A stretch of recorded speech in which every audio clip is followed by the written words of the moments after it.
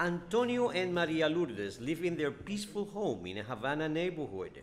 They never thought they would contract COVID 19, but they did after a visiting friend who infected them with the virus. Pues el mundo medio que nos cayó encima. It was like the world falling down on us, and the only choice we had was to stand by each other and face the reality. They were both hospitalized. Maria Lourdes was asymptomatic.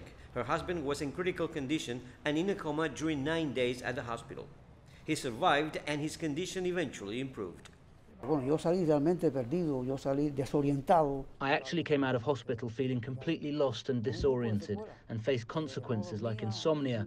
I had no taste and no smell. I had difficulty walking and skin damage and after effects that left me both physically and emotionally very weak. Both Maria Lourdes and Antonio are grateful to the Cuban doctors who treated them at the hospital. Cuando yo salí de toda esta situación, que ya yo sabía que estaba vivo, I saw myself alive again and that life had given me a second chance. I broke down in tears and said to myself, we are all indebted to the doctors. After COVID 19 patients are discharged from hospital and return home, they are assisted under the community based primary health care system known here as the Family Doctor Program, which was created 40 years ago. Medical specialist Sergio Guevara is a family doctor who cares for more than 300 families in his community, including those who have recovered from COVID 19.